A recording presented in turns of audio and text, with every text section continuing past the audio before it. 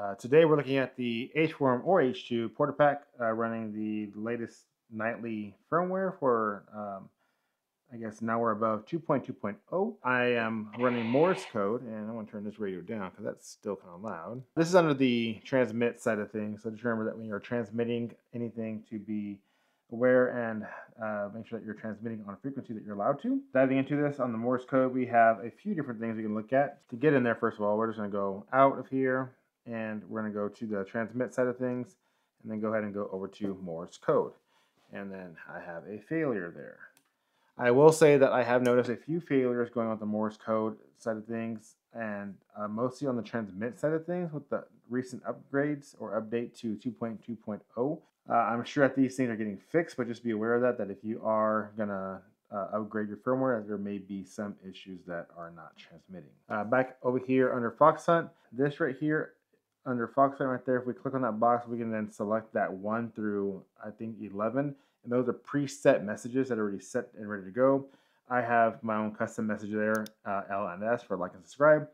So if you like this content, please like and subscribe. The speed there is 15 WPS. WPS stands for words per second. I think it's supposed to be a minute, really. Um, but anyways, that's the speed at which they are transmitting at and then we have our tone. Now I did notice that on the tone, if I don't, if I go above 100, I can no longer hear it on my radio. So for instance, if we go to tone here, and let's just go to 500 here, and I want to start, and then I can see here on this radio that we are receiving that frequency, but we get no, no audio out of that.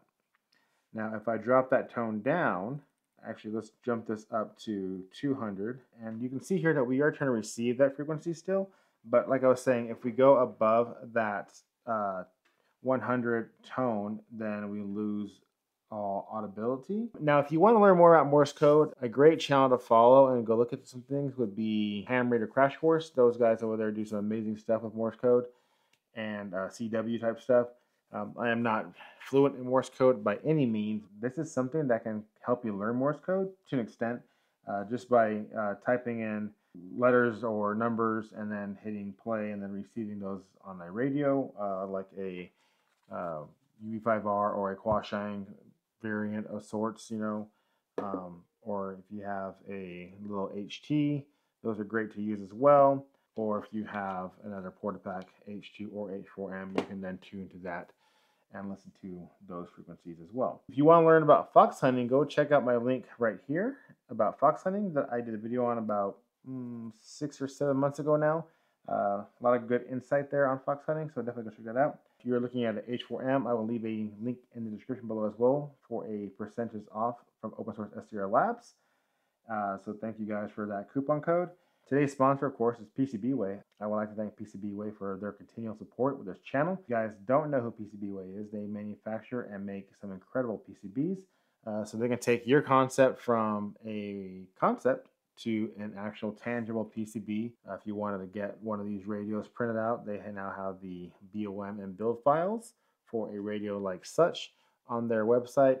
They offer 3D printing services, PCB services, obviously. They offer um, CNC services, injection molding, and uh, cuts metal. Definitely check out PCBWay, and I will leave a link in the description below as well to save some dollars off. Quick summary is we have a Fox Hunt checkbox, which has preloaded messages, uh, 1 through 11 of different uh, messages that are in there. We have the speed, which is the transmission speed of the uh, letters or words per minute.